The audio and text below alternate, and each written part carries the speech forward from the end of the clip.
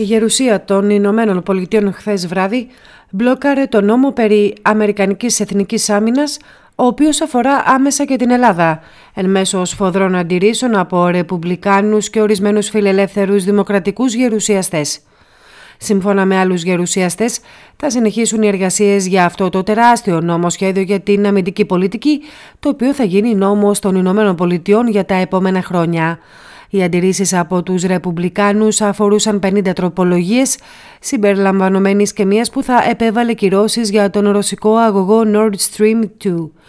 Ο αμφιλεγόμενος αγωγός της Βαλτικής θάλασσας για τη μεταφορά ρωσικού φυσικού αερίου στη Γερμανία έχει έντονους αντιπάλους στο Κογκρέσο, οι οποίοι πιστεύουν ότι αυτός θα ήταν επιβλαβής για την ευρωπαϊκή ενεργειακή πολιτική και θα επέτρεπε στη Ρωσία να επαναδρομολογήσει τις εξαγωγές φυσικού αερίου προς την Ευρώπη παρακάμπτοντας την Ουκρανία. Το νομοσχέδιο αυτό έχει μέσα άρθρα για την αμυντική συνεργασία Ηνωμένων Πολιτειών Ελλάδας, τα οποία είχε καταθέσει τον Ιούνιο ο πρόεδρος της Επιτροπής Διεθνών Σχέσεων της Γερουσίας, Ρόμπερτ Μενέντες. Το νομοσχέδιο με τίτλο Αμυντική και Διακοινοβουλευτική Εταιρική Σχέση Ηνωμένων Πολιτειών Ελλάδας 2021 έχει ενταχθεί πλέον ως τροπολογία στο πακέτο του αμυντικού προπολογισμού των Ηνωμένων Πολιτειών. Υπό αυτό το πρίσμα, το νομοσχέδιο προβλέπει ετήσια στρατιωτική βοήθεια 25 εκατομμύριων δολαρίων προς τη χώρα μας για την περίοδο μεταξύ 2022 και 2026.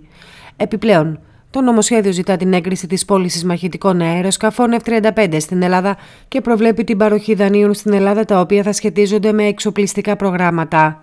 Γίνεται λοιπόν απολύτως κατανοητό ότι τεράστια σημασία έχει αυτό το νομοσχέδιο για τη χώρα μας.